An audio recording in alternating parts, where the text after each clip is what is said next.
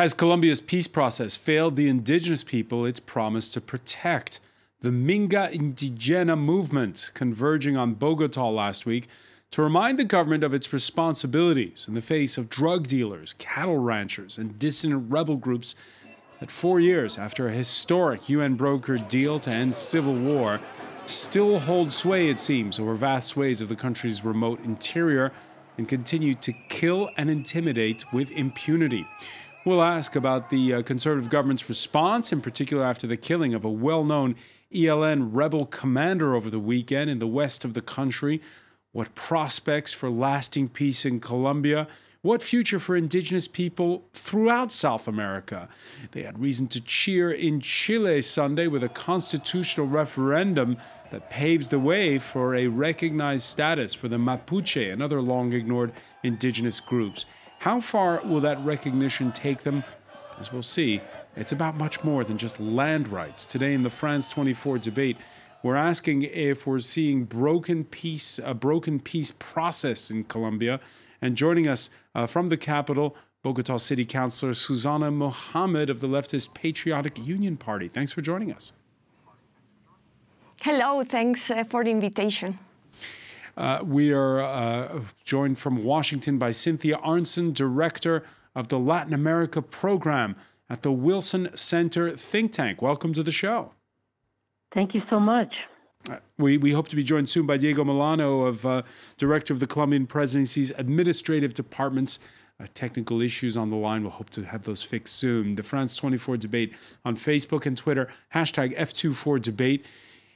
Let's begin with uh, one report. It reportedly happened this past Saturday. News website uh, Colombia reports saying the 34th massacre of indigenous people since the start of the year had happened. Five victims, members of the native Colombian Zenu people, and their attorney in the uh, town of San Marcos, that's in northern Sucre province.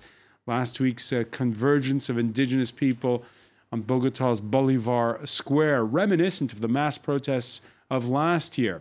Now, despite the current COVID spike, demonstrators who drove by the busload to the capital insist it was a necessity to be there.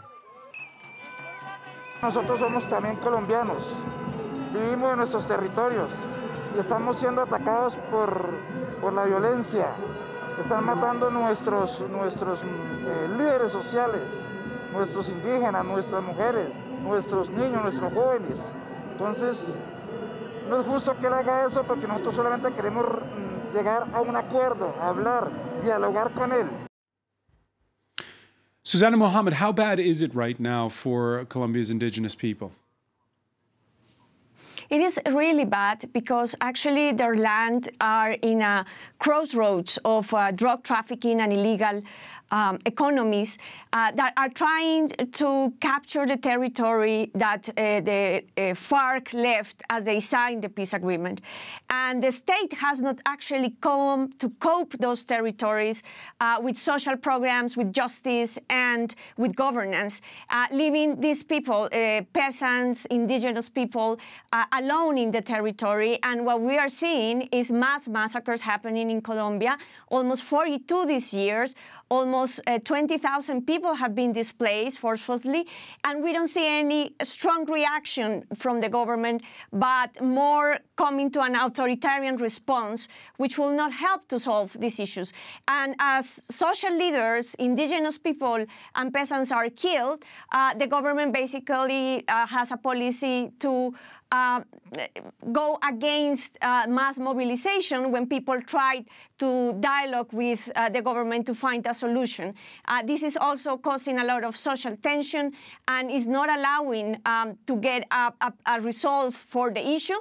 And most worrying, uh, these territories are now uh, starting to be coped by organized crime, foreign organized crime from Mexican drug cartels, and also from other type of organizations.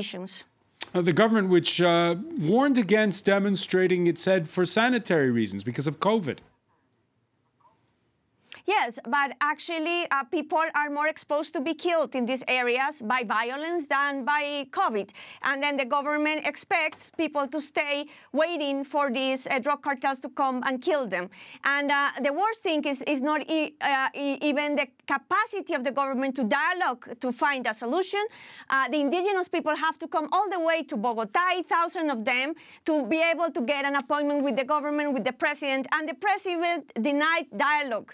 So basically now the social movement uh, is going uh, to come to judicial um, actions because there is no response, not even the capacity to enter a dialogue to see how we solve these issues and the inaction of the government. At the same time, what we see is an authoritarian response, like the 10 people, the 10 young people that were killed in Bogota one month ago by the abuse of police and the lack of compliance of the Minister of Defense uh, from the Constitutional Court that ordered the government to be able uh, to guarantee uh, mass protest and social protest, which is actually one of the fundamental rights of people.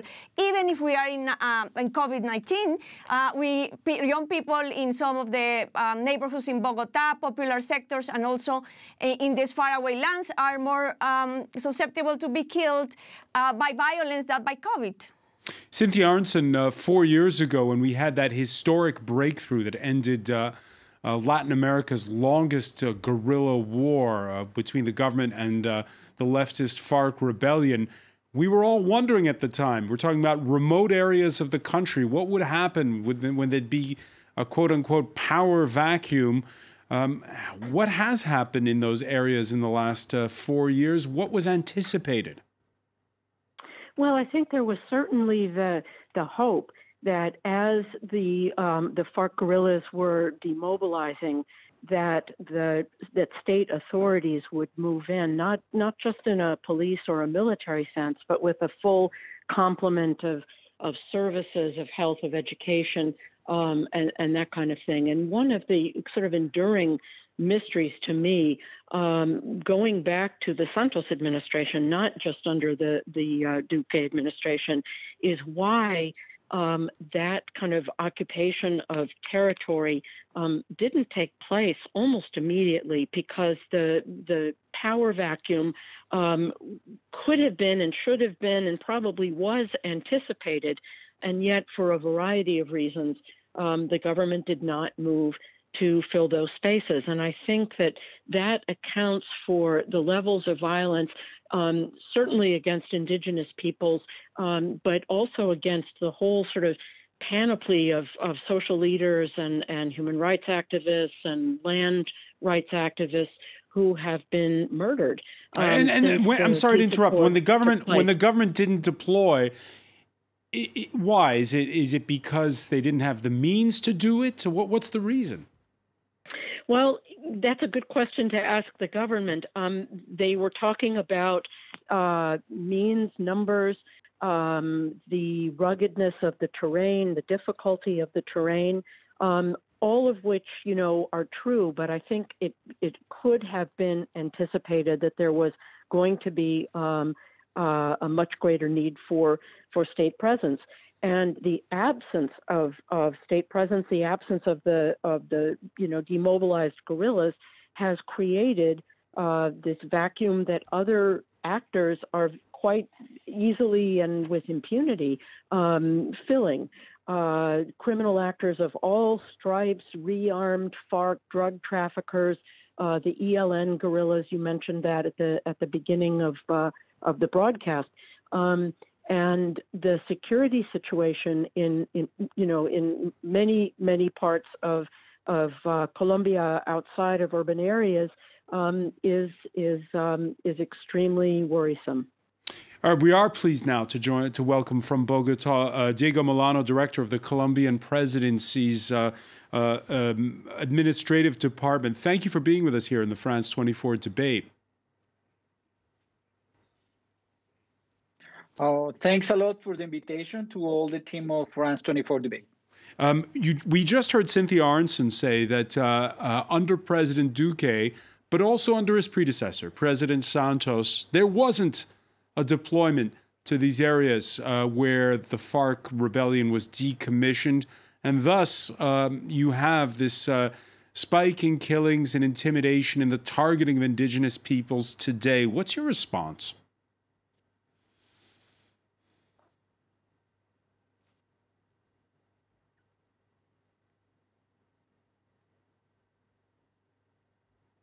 Diego Molano, can you hear us?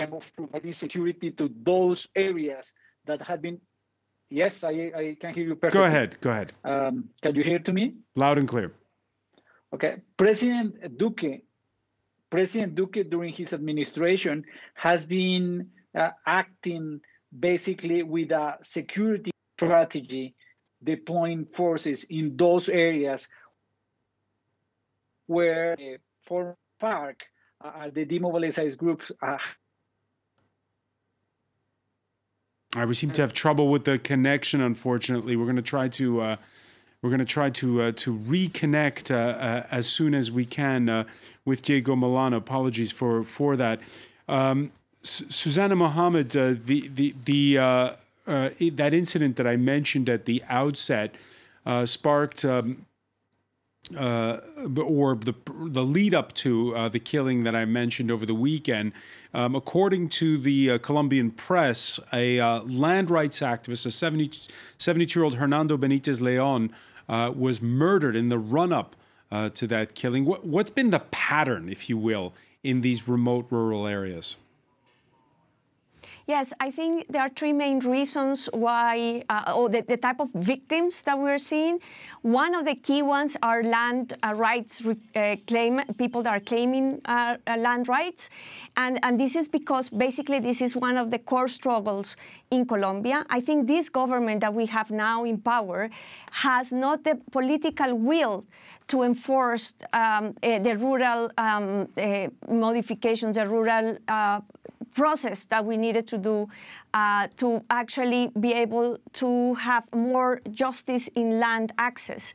And uh, uh, land is a, a critical uh, factor of dispute with these uh, other illegal armed arm groups.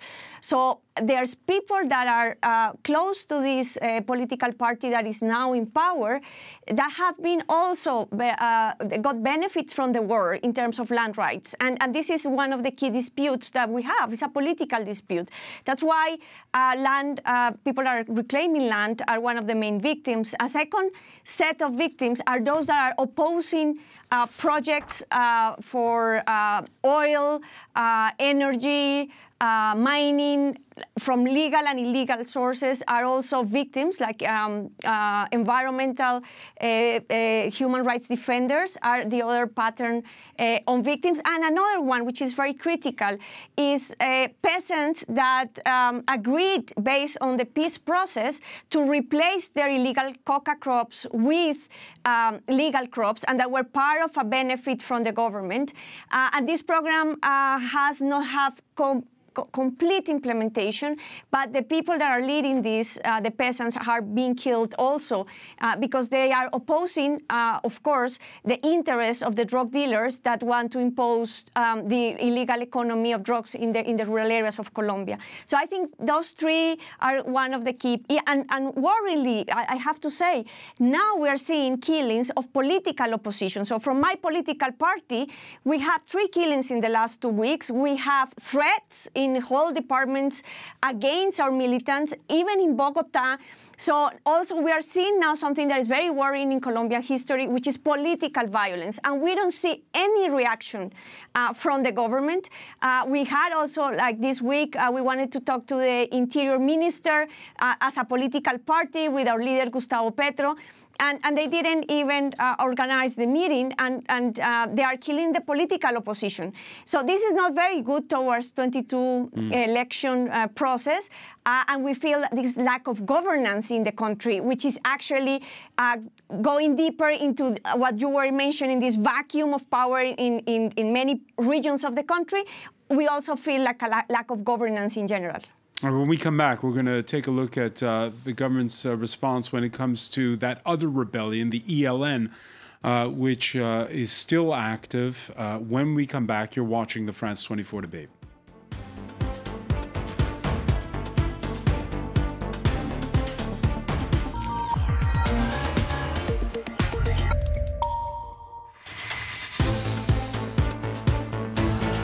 Welcome back, or welcome if you're just joining us. It's the France 24 debate. Four years on, we're asking if it's a broken peace process in Colombia, what with indigenous people uh, more and more uh, the target of killings and intimidation. We're with Bogota City Councilor Susana Muhamad of the uh, leftist uh, Patriotic Union Party, who was telling us just before the break how some members of her party have also been targeted. Diego Molano, director of the Colombian presidency's administrative department, uh, joins us. And from Washington, Cynthia Arnson, director of the Latin America program uh, at the Wilson Center uh, think tank. Uh, Cynthia, the uh, the protest movement is called Minga Indigena. How do you translate that?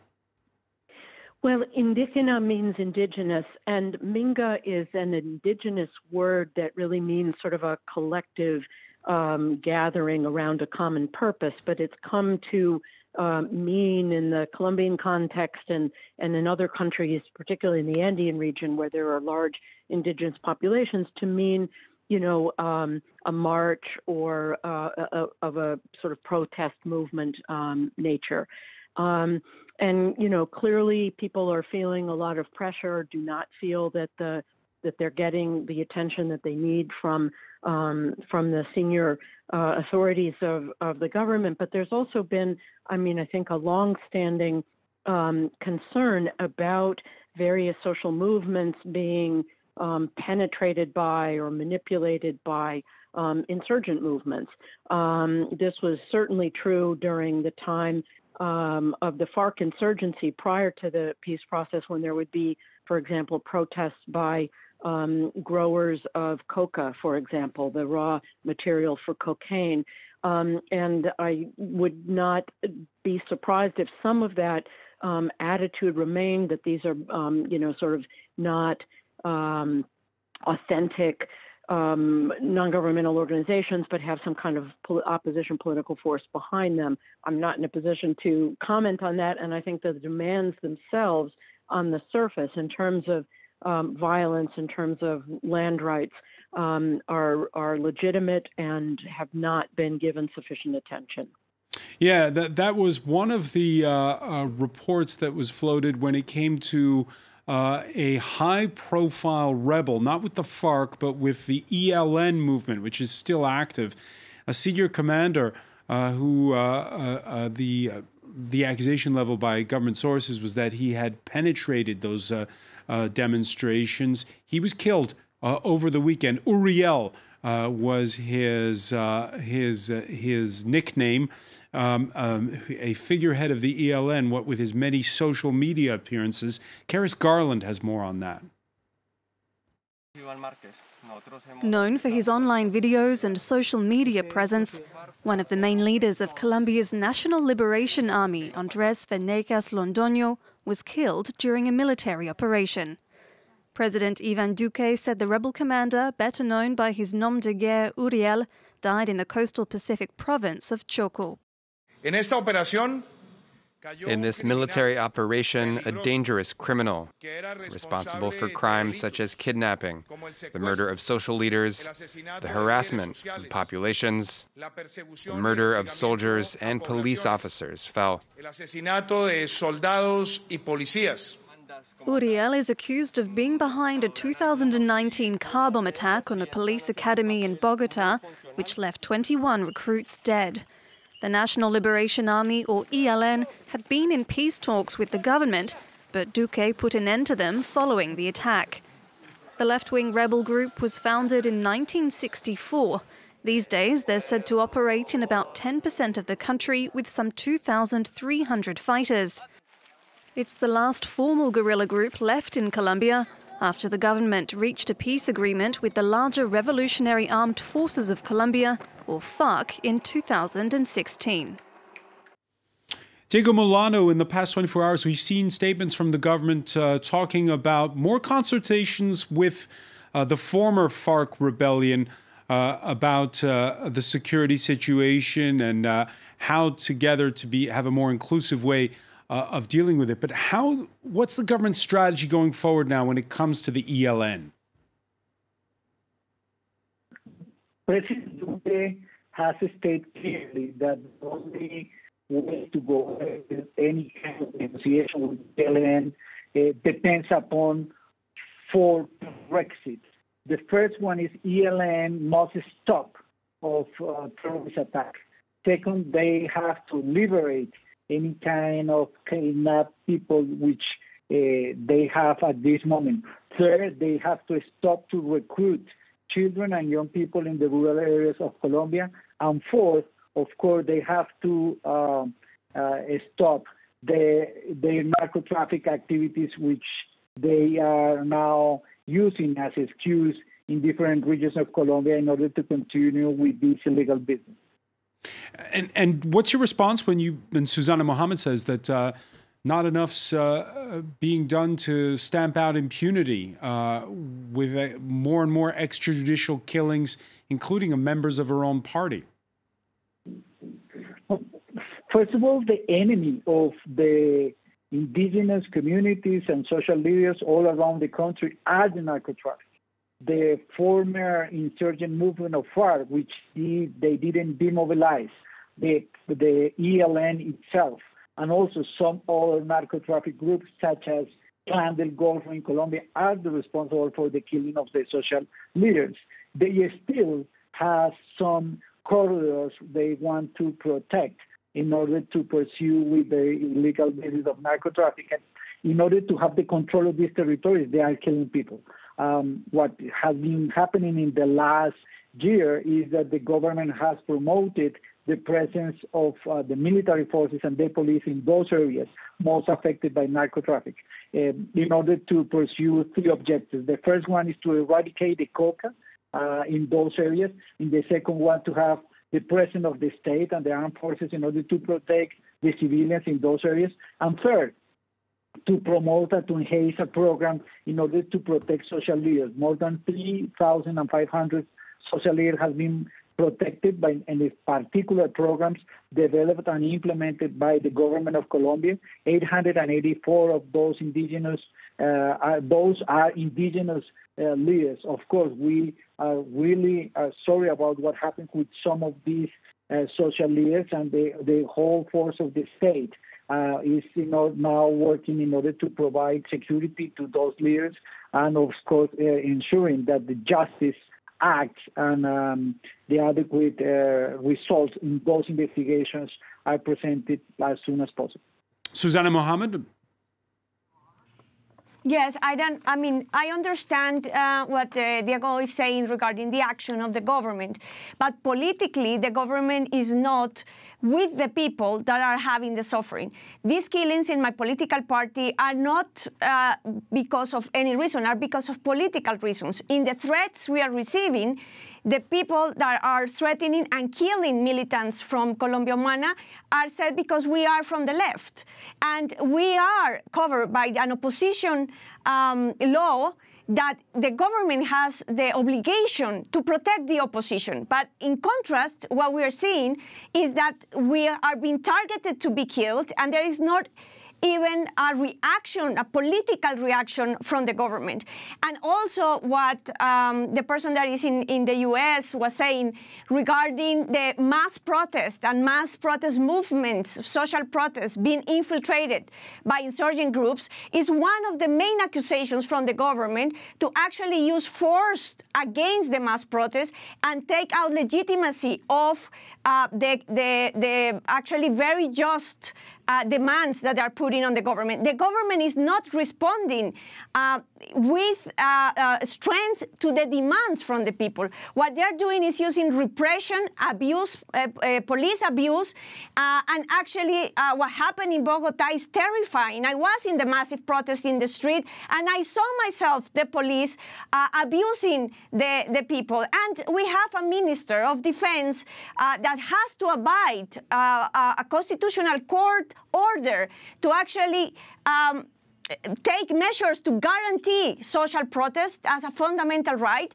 And what he does is, is trying to avoid political control in Congress. What he does is actually the, the president, and the next day, 10 young people were killed in Bogota, goes to congratulate the police, 10 people that uh, supposedly were killed by the police themselves. So we don't see really a care from this government on what's happening to social leaders. And what they are is in a political struggle. Uh, they are close to dialogue. They don't even, uh, the president doesn't have the, the, the capacity to sit, to talk to the indigenous people that are being killed. Uh, and, and they can tell us a lot about their programs and what they're doing, but they don't have a democratic and political response. Their response is, is going to authoritarianism. And we are very afraid of that because that attitude of the government is giving legitimacy to those that think they have the right to threat and kill people that are defending the rights all across the country. Yeah, Diego Molano, that's the charge that's been leveled that uh, the government does not engage in dialogue enough. Your response? First of all, what just Susana mentioned, and let me address uh, some of the concerns that, that Susana expressed. First of all, we are in a democratic state, and of course, the government, uh, President Duque, the military, and the police forces respect democracy and respect the social protest. Just only to mention a number, in the last eight months, more than 325 protests, social protests, pacific protests, happened in Colombia, and they developed based pacifically and the security for those protesters has been provided by the military forces and the police. And this protest has been against the government, some of them. Some of the protests have been developed by different social groups. It means that here is a democratic state which the government respects the protest. The second issue that she raised is related to what happened in the last September 9. In that night, after the killing, unfortunately, or a civilian uh, based on some abuse of police. What happened this night is that because different manifestation of some of civilians, some groups infiltrated, attacked some of the police centers in the neighborhood of Bogota City. More than 63 of these police centers and community centers for the police in those neighborhoods were destroyed, were they fired, and the police were, were under attack. More than 300 police were attacked this night, and of course, this night the order has to be reestablished by the police and the military forces based on those attacks to the authority and to the police. Of course, recently there has been a discussion with the Constitutional Court and with the judicial system in order to get a system and a, a well, I will say a protocol in order to how to ensure that the protest uh, is keep uh, developed peacefully. All right, so we, we can we can um we can we can talk we can talk about further about what happened there back in September. Uh, but time is running short, and I want to get to a few other points that, that were mentioned earlier in the discussion. Susana Muhamad mentioning uh, the drug cartels. Uh, that drug trade does continue. A senior advisor to President Duque saying uh, that uh, Colombia, well, is a cog in the wheel, you might say, for Mexican drug cartels who take charge of the buying, trafficking, and sale in the United States. El papel que ellos cumplen básicamente aquí es el de envío de emisarios y de negociadores eh, y también de individuos que verifican la calidad de los estupefacientes que salen por Venezuela o que salen desde el Pacífico nariñense o el norte de Ecuador hacia Centroamérica y el mercado de los Estados Unidos. Cynthia Arnson, uh, as you know, there's an election coming up where you are in Washington. Uh, whether or not, uh, whether it's Donald Trump or Joe Biden, what's the policy going to be uh, when it comes to these Mexican drug cartels. And we've reportedly heard people with Mexican accents uh, involved in some of the killings in Colombia. Well, you know, I think that if a lot of uh, the approach that the United States will take will be consistent and remain the same, some of it would change under a Biden administration.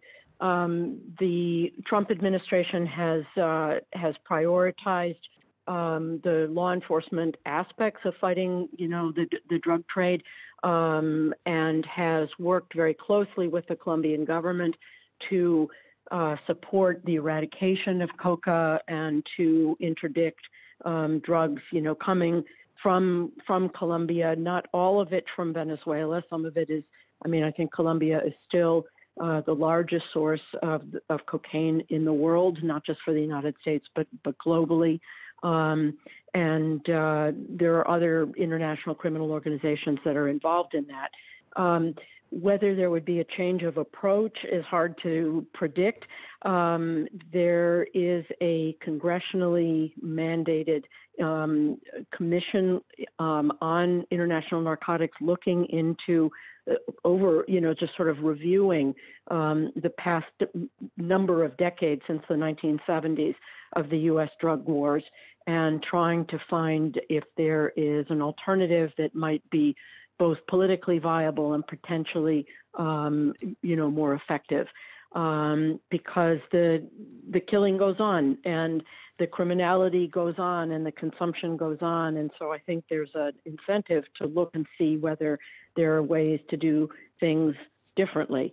Um, and I'm not sure that there will be a different approach under um, either U.S. administration. Um, and the you know the heavy focus on interdiction will continue, and suppression will continue under um, um under a second Trump administration, with an emphasis as well on on crop substitution. Um, and there may be a greater openness. Um, within the Biden administration to looking to see what this congressional commission comes up with and seriously explore um, alternatives. Uh, crop substitution, Susana Muhamad. Uh, this was the question we were asking already four years ago when the, the peace process with the FARC was uh, coming to uh, the conclusion with the signing of that treaty there. Uh, what what alternative for their livelihood can we offer uh, citizens who live in these remote parts of Colombia? Right. Actually, the peace agreement itself had the answer about first the social uh, state to come uh, to these regions. Uh, there, there's a, a huge um, isolation of these regions from the key markets in the cities. So how the government can help to facilitate uh, the trade of what uh, the peasants and the indigenous peoples can produce, and how do we create a strong internal uh, market and help in the productive process. and that's the key for substituting the illegal crops with legal crops. But if you want to substitute illegal crops with legal crops, and then people don't have how to take that to the markets, and they are in very far away regions, and they and right now the the pace of implementation of the rural reform and the pace of implementation of this productive process is very slow, and the government itself is applying a policy that is against to this. For example, uh, uh, forcing eradication, uh, which creates lack of uh, trust with these families that actually help to sign this peace agreement and also abandon the peasants uh, in these faraway regions, then it's going to be very difficult. And they want to impose, again, the use of glyphosate, of uh, this um, chemical uh, way of dealing with the crops, which uh, in Europe, for example, you can't use this anymore because it's poisonous. And, and uh, the government wants to impose with uh, Mr. Trump this method for crop reduction of, of cocaine, of, co of coca leaf uh, against the will of environmentalists, against the will of the peasants, and not supporting enough uh, this. So we, if we get again in the mentality of the war against drugs, which has been the mentality of the last 40 years, we're going to see the same results we have seen in the last 30 years, which is that uh, we give more power basically to the drug trade. And more power to the drug trade means more violence in the rural areas of Colombia and less capacity for the government to control this. But now we don't have a para-state regulating this, which was the role of FARC. We actually have anarchy of organized crime, and it's very dangerous for the future of Colombia. Uh, seeing what's happening in Mexico, we don't want to come back to the 90s, but I am afraid that that's what we're doing with the policy. Diego Molano, uh, Colombia in the 90s was ahead of the curve, you might say, in the sense that its constitution uh, enacted the fact that uh, in, recognized the rights of indigenous people. Uh, a lot of that is also, uh, again, about land rights. And a lot of the disputes we're seeing today is indigenous people who want the right to be able to work the land that's been stolen from them. Is any progress being made? Definitely. Um, basically, in order first to answer to, to some of the the um, concerns that just uh, Susana mentioned. First of all, what happened, unfortunately, after the peace agreement is that the, the hectares of coca raised to the historical numbers. Basically, after in the year 2010, in Colombia, reduced the hectares of coca to more or less 15,000. After the peace agreement with uh, FARC, the number of coca rose to around 116,000 hectares, which is a disaster because this number of hectares of coca basically increase violence and increase the ability of some of the, these terrorist groups, like the former FARC um, and those who didn't sign the agreement, or ELNL, uh, ELN, in order to have control of those areas. The government has committed to decrease those areas because it's the only way to reduce violence. Which happens in the indigenous communities is that those groups, such as the FARC, such as ELN, are going to those indigenous communities and reserves in order to promote the cultivation of coca. And of course, it creates violence and it develops like kind of assassinations and killings and mass killings of uh, indigenous social leaders. Then that's why the first priority of the government is to reduce the hectares of coca. First. The second, the, after the, the peace agreement, a program was created, or today more than 100,000 or peasants or cultivators of coca are in a program in order to develop a program for substitution, alternative development. Those peasants are working with the government in the cultivation of cacao, in the cultivation of, coca, eh, of coffee, in the cultivation of products such as uh, forestry in those areas. It means that the government has kept the promise and have working with them in order that they move to the illegal uh, illegal economies to the legal economies. But of course, the problem is, and the, that this is the priority of President Duque, to control the narco traffic. Unfortunately, after the peace agreement, uh, the narco traffic continues in Colombia, and that's why the first priority is to eradicate, and that's why we have to do it because this is a priority. Is the coca is the fuel for, for violence in Colombia. All right, so the fuel the fuel for violence in Colombia. Just just very briefly, because we're we're we're out of time. Uh, I just want to mention Sunday, Chile overwhelmingly approving the drawing up of an entirely new constitutions. Expectations high there. Among issues likely to be at the fore are recognition of Chile's Mapuche indigenous population, the Mapuche, who for a year now have been at the fore of protests against inequality there. Uh, like you can see these images from Santiago. This was back on uh, Columbus Day uh, earlier this month. Susana Muhamad, uh, indigenous rights in South America more broadly, are you optimistic? I, I, think it's a huge step, and I think there's a, a, a political coalition that is happening uh, right now between the indigenous people and the young people in the cities. And that's very interesting because it creates a new political subject, one that uh, starts the, the urban uh, population, especially the young people, start recognizing the importance of this diversity, cultural diversity that we have in our countries. Because young people are very aligned and understood, understands clearly the climate crisis we are in, and they understand that the knowledge of these indigenous people, that their territories, which are, at least in Colombia, the source of water for everybody, need to be um, conserve. And we need to gain governance of those indigenous peoples over those territories if we want to have any success to adapt uh, to the threat of the climate crisis. So this uh, coalition of the urban sectors with indigenous people, I think is creating a very interesting uh, subject in, in, in South America, political subject, uh, which we already seen, for example, in Bolivia, that we already have seen in Ecuador, and that is starting to happen in countries like Colombia and also like Chile, which I think like gives Chile, me a lot of saying. hope that uh, the roots of this continent are going to move uh, to be able to uh, face the threat of authoritarianism and the threat uh, of the climate crisis. All right. Well, unfortunately, we're going to have to leave it there. Susana Muhamad, I want to thank you.